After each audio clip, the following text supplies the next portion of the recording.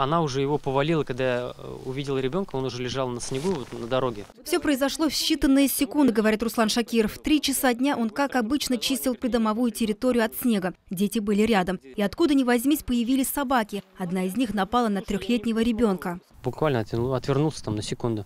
Она уже э, отошла от него, когда я подошел к ребенку, он уже был весь в крови. Все, я его взял на руки, старшую дочь э, тоже под мышку, собаки забежали ко мне во двор. Закрыл калитку я, и мы сели в машину и ехали в больницу. В КДМЦ ребенка быстро осмотрели и оказали первую медицинскую помощь. Поступил ребенок с укушенной раной носа. Оказана вся необходимая помощь. Рана ушита, проведена вакцинация от бешенства. Ребенок сейчас находится в стабильном состоянии, лечение получает. Врачи наложили три шва. По словам отца ребенка, сейчас семье придется искать пластического хирурга, чтобы убрать шрамы на лице. Но больше всего его беспокоит, что малыш получил сильнейший стресс. Он очень напуган и хочет к маме. Однако домой отец с ребенком попасть не может, так как одна из собак все еще находится во дворе.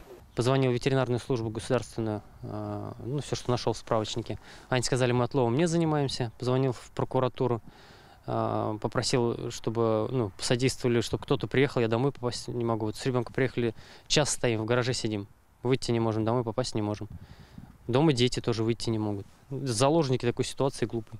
Видно, что собака породистая, есть ошейник, вся исхудавшая и неухоженная. Кто ее хозяин, никто не знает. По словам главы Новотроицкого поселения, по решению данной проблемы уже начата работа. Вот буквально в ближайший час подъедет э, значит, наши ветеринары, заберут собаку, увезут ее на обследование, чтобы понять, э, есть ли у нее какие-то заболевания, которые могли бы передаться ребенку.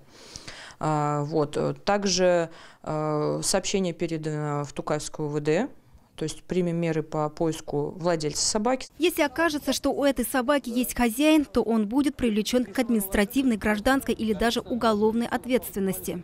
Кроме того, правительством утвержден перечень потенциально опасных собак, с которыми свободно гулять можно только в специально отведенной зоне. Ответственность за вред, причиненный гражданину либо его имуществу, несет владелец питомца, а в случае его отсутствия ответственность возлагается на муниципальные органы. Это уже не первый случай, когда на ребенка нападает собака, в том числе и домашняя. Руслан Шакиров просит, чтобы власти наконец обратили внимание на проблему свободно гуляющих животных. Лилия Хабибьянова, Айдар Мусин. Новости Татарстана.